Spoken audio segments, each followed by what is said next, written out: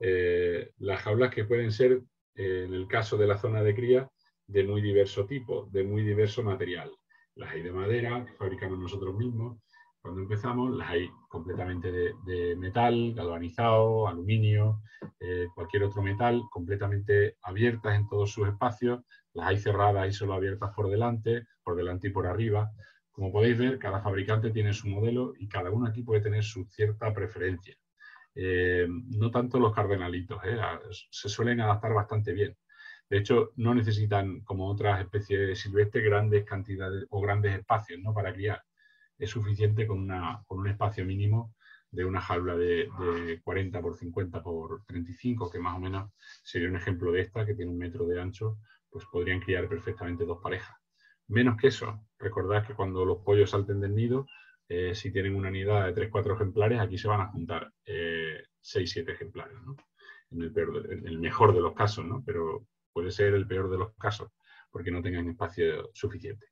Una cosa sumamente importante, la limpieza. Eh, en el medio natural, un cardenalito jamás entra en contacto con, su, con sus heces, jamás eh, se cerrará, y lo veremos luego, ese ciclo de, de deposición eh, y alimentación, luego los parásitos, las enfermedades que un cardenalito pueda tener, nunca van a volver al propio cardenalito en la naturaleza, y eso es principalmente lo que ocurre en, la cría en cautividad. ¿no? Luego, la limpieza tenéis que ser muy escrupulosos, nunca eh, limpiar mucho es malo y tenéis que tener en cuenta eh, a este tipo de jaula a una cosa que se llama pues cualquier peligro, ¿no? como si de un niño se tratase, un muelle, una puerta que no cierra bien, un, posadero que se abre, un alambre que, al cual está demasiado separado y el ejemplar puede meter la cabeza. A veces ocurren muchos accidentes y, no quiero que os pase. Luego tener bien eh, y tener claro eh, esto antes de seleccionar una jaula u otra. Son inversiones muy caras que se tienen muchos años, duran mucho las jaulas, pero tenéis que hacer eh, la medida de lo posible ese, análisis inicial de cuál es la mejor. yo he visto criar cardenalito en todas estas jaulas, ¿vale? Y hay criadores que prefieren una sobre otra. No, quiero incentivar ni una ni otra, ni una marca, ni mucho menos. Simplemente recordar esto, un espacio mínimo, la facilidad de limpieza y que no tengan enganches, que no tengan peligros, que a veces, a veces los hay. El tema de la muda, las jaulas o los voladeros para la zona de muda, muchísimo más diversidad aún. Hay dimensiones eh, muy, muy grandes, como voladeros exteriores de jardín. Eh, hay gente que prefiere voladeros interiores eh, con separadores. hay gente que prefiere unas cosas intermedias al exterior, un poco más grandes. Los hay de fabricación propia, en madera, en PVC, en metal, pero dos puntos principales que os quiero hacer ver aquí es una, que la limpieza tiene que ser igual o mejor que la zona de cría, tiene que ser muy fácil de limpiar porque así a vosotros os ahorrará tiempo y sobre todo porque a los cardenalitos estarían mucho mejor y tendréis mucho menos problemas. Y de nuevo, eh, toda la limpieza que hagáis nunca, nunca es demasiada. Un punto adicional de la zona de muda, pues esos voladeros, los cardenalitos vuelan eh, muy rápido.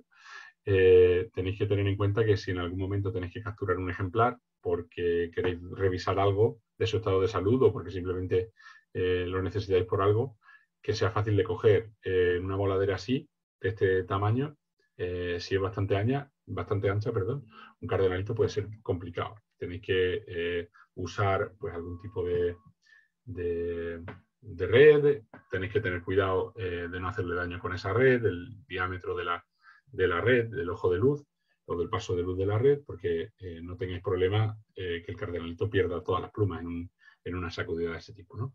Entonces, tener en cuenta que la, zona de vuelo o de mantenimiento de muda podáis capturar los ejemplares que necesitéis cuando están en esos grupos ¿no? y en, eso, en esas zonas más amplias.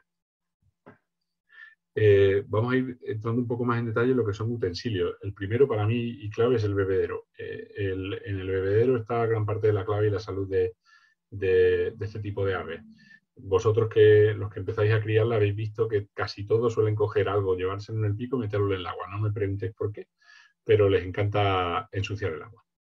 Entonces, eh, un bebedero tiene que ser un, utensilio que se limpie muy fácilmente, podéis, eh, yo prefiero que el ejemplar no se bañe en el bebedero porque ensuciará el agua con la suciedad de sus plumas, prefiero para eso la bañera. Entonces veis cómo hay bebederos eh, de estos, de instalación, que en donde el ejemplar simplemente moviendo esta, esta varilla eh, obtiene eh, agua, entonces nunca está en contacto el agua con el exterior.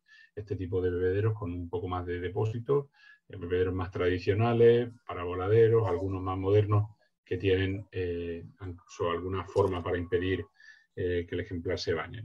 Cualquiera es igual de bueno, pero eh, tenéis que tener siempre en cuenta que eh, la salud está un poco eh, relacionada y tenéis que evitar que, esto sea una fuente de problemas. Sean fáciles de limpiar y yo personalmente prefiero que no se bañen en el bebedero y que se bañen en otro, en otro utensilio que luego veremos, como son las bañeras. particularmente prefiero tener un par de juegos de bebedero. a veces es una inversión cara porque acabas teniendo todo duplicado pero suelo, a mí me ayuda para tener algunos en, eh, limpieza, en remojo con, lejía, por ejemplo, mientras que el resto está en uso. Así, eh, pues siempre tengo, todas las semanas los cambios, siempre tengo eh, bebederos limpios. Los comederos más de lo mismo, existen infinidad de formatos. podéis ver comederos tipo tolva con una cantidad con una cantidad eh, o que alberga una cantidad enorme de, semillas o de, o de, piensos, comederos más tradicionales, de materiales nuevos, tipo eh, así corridos, ¿no? de compartir, incluso semilleros eh, muy pequeños. Una cosa que os quiero llamar la atención aquí es que igual que los bebederos deben de ser de fácil limpieza, a veces hay, hay, modelos que cuesta la vida llegar a los rincones y allí se acumulan pues palomitas, incluso cualquier otro hongo, si llega a haber cierta humedad en el ambiente. Entonces debe de ser eh, de fácil limpieza. Yo sugiero que sea de un tamaño adecuado, no tiene sentido para una jaula de un solo cardenalito tener medio kilo de comida expuesta al ambiente, puesto que le va a durar en una eternidad, eh, y tampoco poner, como hemos visto antes, el comedero de este tipo para una jaula donde hay 20 cardenalitos, ¿no? porque solo hay un orificio para comer, entonces entre ellos se van a disputar eh, la mejor posición. Eh, y en cuanto a posición, eh, la colocación de ese, de ese, comedero, también con respecto al bebedero, es sumamente importante. Procurar siempre que el agua esté separada de la semilla o del pienso lo máximo posible. Eh, un cardenalito suele ir a comer, estar un rato comiendo y suele ir a beber acto seguido.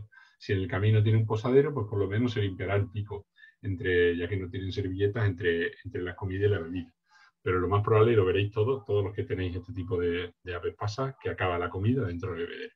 Entonces, cuanto más espacio pongáis en medio, más facilidad eh, o tiempo le dais al animal para que cuando llegue el agua eh, no tenga restos de comida y por tanto el agua se mantenga más tiempo limpia. Un cardenalito silvestre no está acostumbrado a comer un comedero. Eh, de hecho, por ejemplo, si utilizas un comedero de este tipo para un cardenalito silvestre, morirá de hambre porque probablemente no sepa que hay dentro de comida.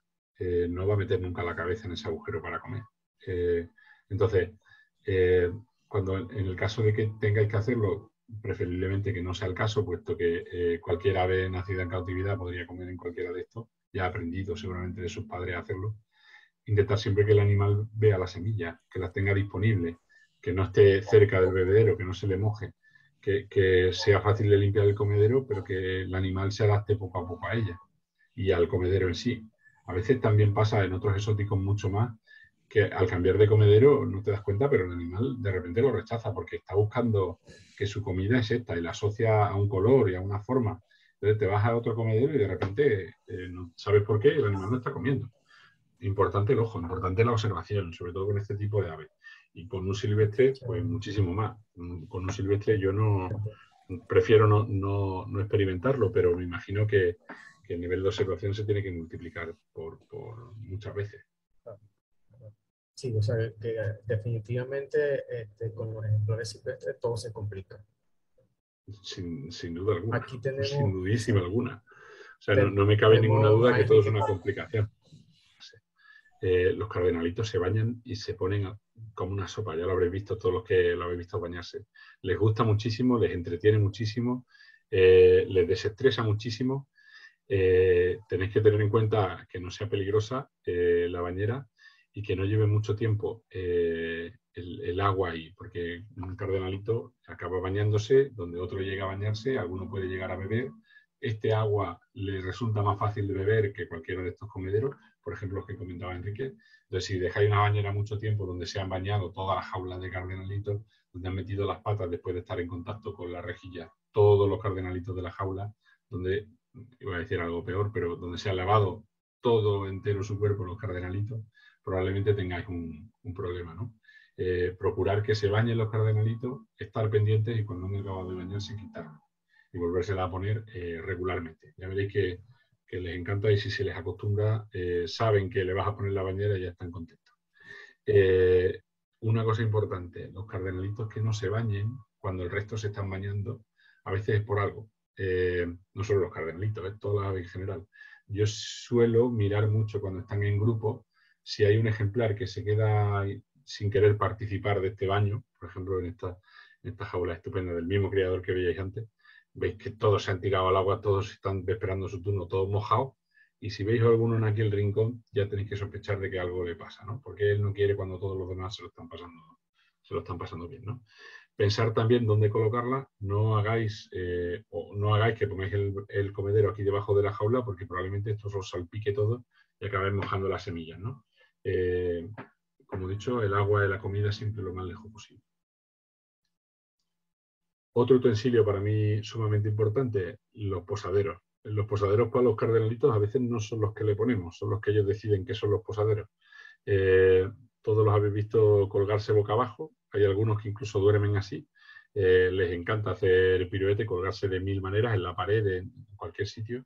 Luego, escoger buenos posaderos para ellos que sean fáciles de limpiar, como siempre repito, lo mismo, eh, y, colocárselos también estratégicamente. Eh, algunas veces no, eh, ellos suelen, suelen hacer uso del posadero que ellos más les gustan.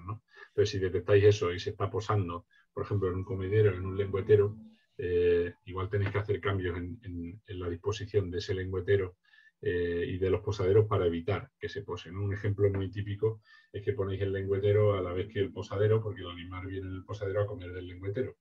Pero a veces lo hace al revés, a veces se posa en el posadero y defecan el lengüetero. Entonces, estudiad bien la separación para que el animal no, no, no defeque sobre la comida. ¿no? Todo ese tipo de, cosas. Un, punto importante, el grosor.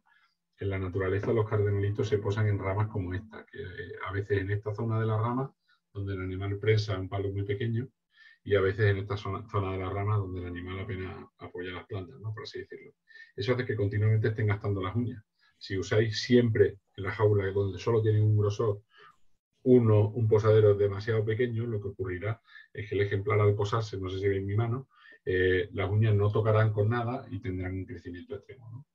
ahí crecerán hasta el infinito. Veréis cómo los ejemplares adultos necesitaréis eh, hacerle manicura. Por contra, si, muchas veces si son excesivamente anchos, los ejemplares tampoco están cómodos, eh, si son planos. Luego, proponerle eh, al menos diferentes grosores o en recomendación diferentes grosores. Y como siempre, vuelvo a repetirlo, que sean fáciles de limpiar. Más utensilios relacionados, eh, uno de los que más me gustan, los nidos. ¿no? Las cardenalitas son sumamente caprichosas. Sumamente, todos los que habéis criado cardenalitos lo sabéis. Prefieren lo que prefieren. no le vale el mismo material a todas las cardenalitas de la vida. Hay algunas que construyen unos nidos preciosos y otras que no le ponen mucho esfuerzo a aquello.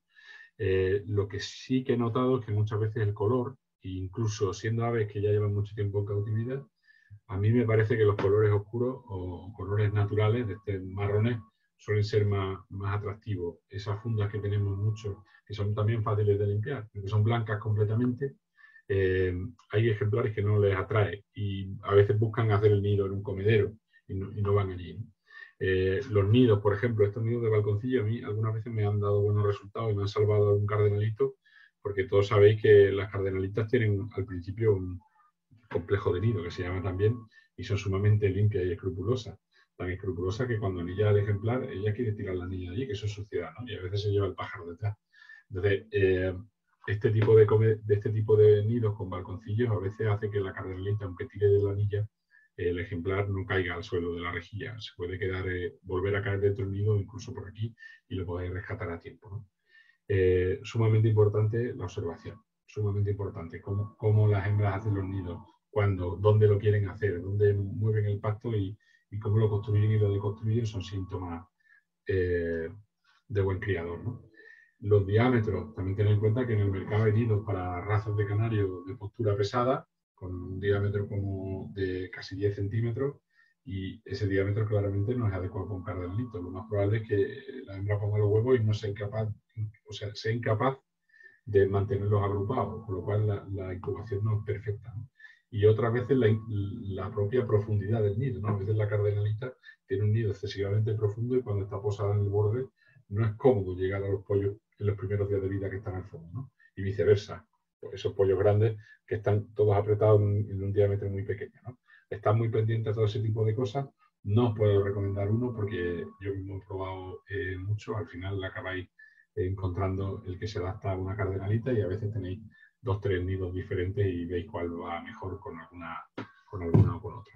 Cada maestrillo, como se dice, tiene un poco su librillo. Además de todo eso, que son los, utensilios que todos tenemos, que todos podemos detectar como imprescindibles para la cría, esto no para de, crecer y de evolucionar. ¿no? A mí me gusta, esta parte sí que me, realmente me llama la atención como eh, existen unas tijeras para cortar la anilla, como te das cuenta que el ejemplar, por alguna inflamación, la anilla le está, creyendo, está creando un problema y hay que cortarla y quitársela. Eh, como hay este tipo de eh, peleteros para ponerle el pelo para que las hembras lo cojan y evitar un poco el despilfarro de material de nido, aunque ya digo que las cardenalitas les gusta que les pongan en exceso, suelen despilfarrar bastante pinzas para las verduras que agarran muy bien la pieza de fruta para que no acabe rodando por toda la jaula, eh, donde esta parte acaba estando entre los barrotes y, queda siempre bien posicionada, huevos de plástico, agujas para aquellos pichones que la madre dijo que, mejor el, que el criador acabase de criarlo. Eh, y, los criadores pues nos afanamos en hacerlo lo mejor posible, hasta incluso, por ejemplo, estos pequeños eh, dispositivos o aparatejos que miden el pulso de los cardenalitos a lo largo de, su, de su eh, incubación. ¿no? Son capaces de a partir del cuarto día, cuando ya los ejemplares tienen corazón pulsante, empezar a ver que dentro del huevo hay vida. Y cuando en los últimos días de, la incubación ya el huevo no deja pasar la luz y es difícil eh, con un ovoscopio, que sería otro, otro utensilio más, eh, ver si, si, ese huevo está fecundado o sigue vivo el ejemplar o no, colocarlo en este tipo de dispositivos que por ahora son, no son para todos los públicos, pero también existen eh, eh, opciones intermedias, ¿no? como ponerlo en un, en balde de agua templada, a mí me parece más sucio y más peligroso eso, eh, te acaban midiendo el, pulso del animal y te quedas tranquilo de que sigue la vida en el interior.